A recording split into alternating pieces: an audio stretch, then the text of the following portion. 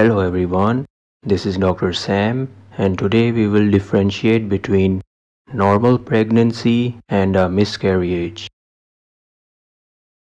A normal intrauterine pregnancy consists of a gestational sac containing a yolk sac which is a circular structure with anechoic or hypoechoic center and a hyperechoic border and an embryo containing a heartbeat that is usually between 110 to 170 beats per minute. The heartbeat usually reaches approximately 170 beats per minute at around 9 to 10 weeks of gestational age.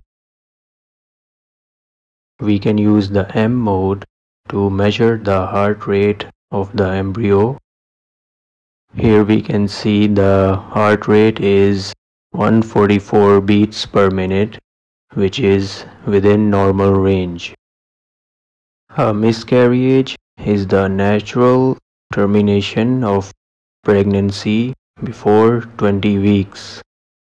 The first type is the threatened miscarriage. It has many features on ultrasound. The first one is fetal bradycardia. The heart rate will be below 80 or 90 beats per minute. In this image, it is 75 beats per minute. This feature is just a suspicion. It is not a confirmation that the pregnancy has failed. The next feature is related to the size of the gestational sac that is a small mean sac diameter. Now in normal cases the mean sac diameter must be at least 5 millimeters greater than the crown rump length, the CRL. The embryo must be visible when the MSD crosses 25 millimeters. But over here you can see the embryo as well as the yolk sac but the gestational sac is very small. The MSD is only 7.7 millimeters. The gestational sac looks crowded. The next feature is an irregular gestational sac.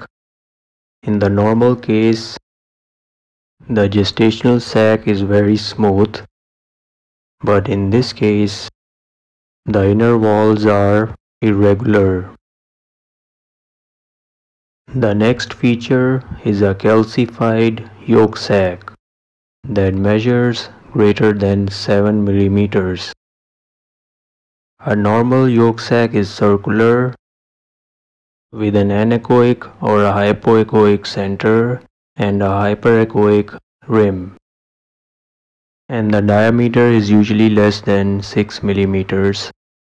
And the calcified yolk sac is hyperechoic and may have posterior shadowing. A subchorionic hematoma appears as a hypoechoic area between the uterine wall and the chorion. It is due to bleeding and is often crescentic shaped.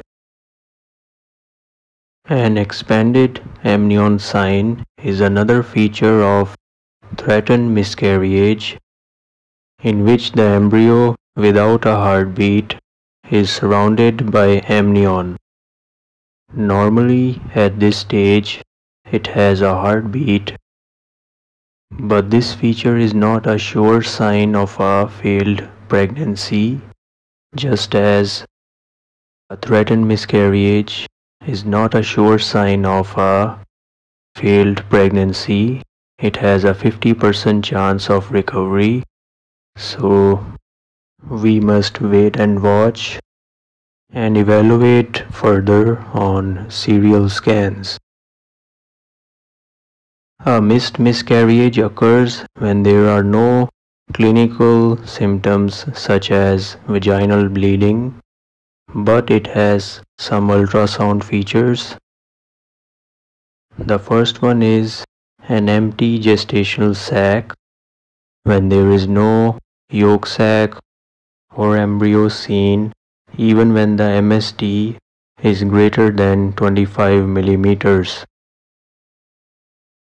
The second feature is CRL greater than 7 millimeters with no heartbeat.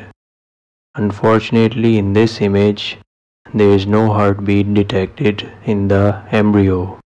We must wait and watch as it can recover on further scans. In an inevitable miscarriage, the internal os is open and the gestational sac is seen at the lower portion of the uterus. Usually the gestational sac is seen over here. In this image you can see a change in the shape and the location of the gestational sac. On repeated scans, the gestational sac can be seen changing its position and moving downwards and also may change its shape. And the embryonic heart rate may also be absent in an inevitable miscarriage. A complete miscarriage occurs when all the fetal parts and pregnancy tissue have been expelled completely from the uterus and the uterus is empty. And in an incomplete miscarriage, there will be retained products of conception left behind in the uterus they can be fetal parts or or some remaining placental tissue. They can be of mixed echogenicity. Thank you so much for watching. Please subscribe and stay tuned for more imaging videos.